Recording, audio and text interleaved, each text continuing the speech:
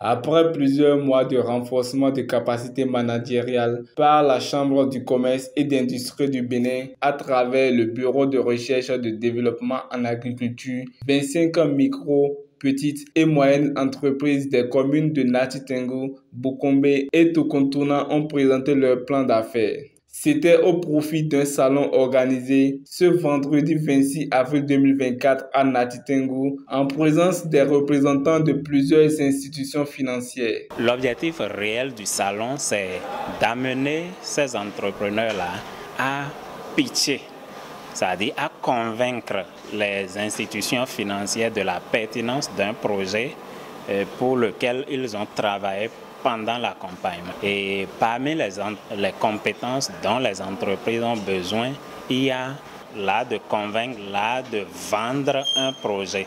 Et pour vendre un projet, il faut faire un plan d'affaires. Et on peut avoir le plan d'affaires, ne pas pouvoir le vendre, ne pas pouvoir vendre correctement le projet qu'il y a derrière. Donc, ce salon est fait pour permettre à ces PME porteurs d'un projet de de se défendre, de défendre leur projet devant les institutions financières. Au cours du salon, les responsables de ces entreprises ont salué l'initiative, puis ont présenté leur plan d'affaires tout en faisant ressortir leurs besoins. J'ai une très bonne impression de cette séance parce que c'est une chance en fait aux entrepreneurs, aux micro, petites entreprises que nous sommes de défendre notre projet, d'exposer notre projet et d'exprimer nos besoins en investissement dans le but d'agrandir notre entreprise et de la faire durer dans le temps. Actuellement, nous avons un besoin en investissement de 3 695 000 afin d'installer notre unité de production avec un apport propre de 1 655 000 francs CFA. Au cours de, cette euh, séance, euh, j'ai présenté euh, le plan d'affaires sur la transformation de mangue fruits en mangue séchée. Nous avons présenté un peu l'évolution de, l'entreprise et en termes de besoins, il y avait deux catégories de besoins. Donc nous avons besoin d'investissement euh, à long terme pour pouvoir renforcer la capacité de notre unité. Aussi, nous avons intégré l'acquisition de, matériel. Au terme des présentations, la coordinatrice du Bureau de recherche et de développement en agriculture se dit satisfaite du bon déroulement du salon. Les institutions financières, quant à elles, ont rassuré qu'un travail sera fait le but de financer ces entrepreneurs. Je suis très satisfaite déjà de par la forme de l'organisation du salon, puisque tous les entrepreneurs qui ont présenté aujourd'hui, dans notre jargon qui ont pitché aujourd'hui, l'ont fait très brillamment.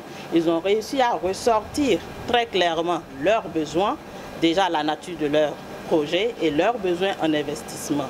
Du côté des institutions financières, j'ai été également satisfaite de la participation active de chacune de ces institutions.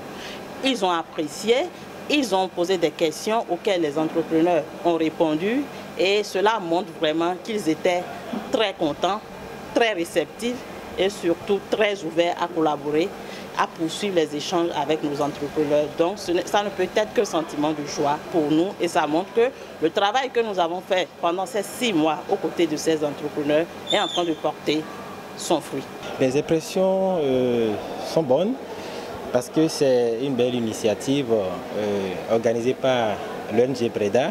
Et nous autres institutions, notre contribution, c'est, je crois, après cette présentation, de prendre contact avec euh, ces différents entrepreneurs et d'étudier quand même de plus près les activités et de les suivre dans leur évolution et de leur apporter le financement idoine pour leur permettre de développer leur activité. Pour rappel, ce projet de renforcement des capacités entrepreneuriales est mis en œuvre par la CCI Bénin grâce au financement du Pro PME GIZ.